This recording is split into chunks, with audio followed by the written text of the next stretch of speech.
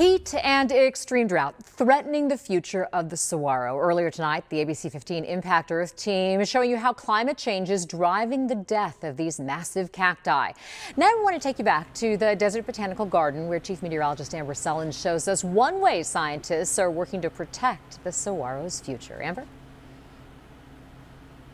Yeah, Faye, we are at the seed bank at the Desert Botanical Garden where they actually collect and harvest seeds, not only of saguaros, but of all kinds of desert plant species and especially the threatened and endangered ones. So joining me now is conservation biologist Steve Blackwell. He's one of the scientists here that is doing this important work. Steve, thank you for joining us and talk to us a little bit about uh, what you do on a day-to-day -day basis to, to really protect our environment here. Right, so one of the reasons why we created this lab is we wanted to understand how to grow our, grow our endangered plants.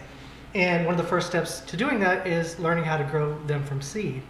And plants, you know, through, uh, throughout history have developed these mechanisms for maintaining dormancy. And one of the things that we want to understand is how to break that dormancy, how to grow these seeds.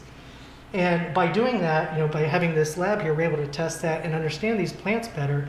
And then we can grow those seeds out, and then we can use those for restoration projects or for further conservation um, here at the seed bank. Now, we also, in addition to learning how you know the seeds work, we also uh, have a long-term storage project, and that's what the seed banks, the seed freezers are here. And um, so what we do is we understand how long we can keep these seeds for. So they could potentially be uh, kept in these freezers for decades, centuries, and maintain viability. So they're kind of an insurance policy against extinction. Yeah. If you know we happen to lose a, species um, due to extinction, we well we have their offspring here in our seed bank, and then we can use those seeds for you know for to grow out and to put back out into the wild. So these are just st different stages of some of the plants that you're growing here. And you Absolutely. can see they start out so small. They do, and, and a lot of people haven't seen uh, in uh, juvenile cactus before. So you know we do our testing in here, and you'll see we have some uh, some baby uh, seedlings here, and then they'll just progressively get bigger. And then here we have some saguaro seedlings. Oh wow! That we don't we don't get to see typically out yeah. in the wild. And then this one here is about two, three years old. So you can see it takes a long time for them to get to that stage.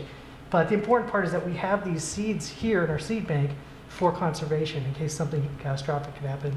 Yeah, I, I, like the way you put it, kind of an insurance policy as we see yeah. saguaros on the decline here, mainly due to things not cooling off at night with that heat island effect and of course the drought as well. It's, it's, it's really comforting to know that, that you guys are doing the important work here to ensure that, that we don't lose them altogether. It's only one part of the, the, the, big picture of what we're doing here to conserve our plants. Yeah, it's really awesome. Well, if you missed it today, uh, we did a Facebook Live on the ABC 15 Facebook page. Steve was one of my guests, so if you want to check that out, we have a more in-depth conversation with Steve, and he was showing off some of the other endangered cacti that they have here at the garden, and uh, we talked in depth about the wildfire issue facing our saguaro populations and also uh, just what's happening with the urban heat island effect here in Phoenix that's causing these saguaros uh, to lose their viability, really. So if you want to check that out, it's on our ABC 15 Facebook page right now. And uh, for now, we will send it back to the studio, and Jorge's got to look at your forecast.